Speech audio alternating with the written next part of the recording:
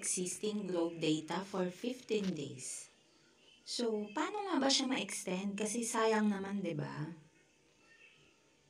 So, extend your existing globe data for 15 days using the GoSurf BE34.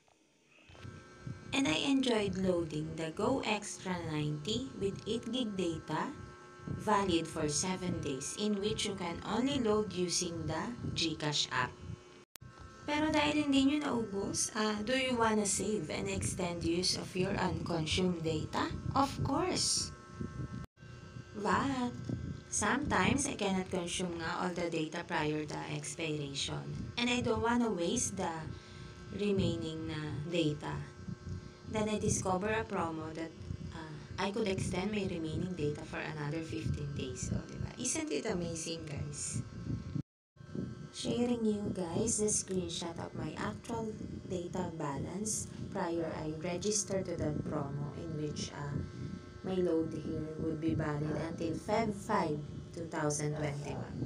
To register, just text GoSurf BE34 and send that to 8080.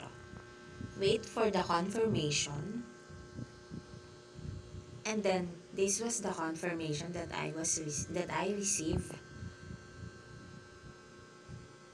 My remaining data has been extended up to Feb 16, 2021. GoSurf BE34 has 20 MB data valid for 15 days and can be used nga to extend GoSacto data promos. Thank you for watching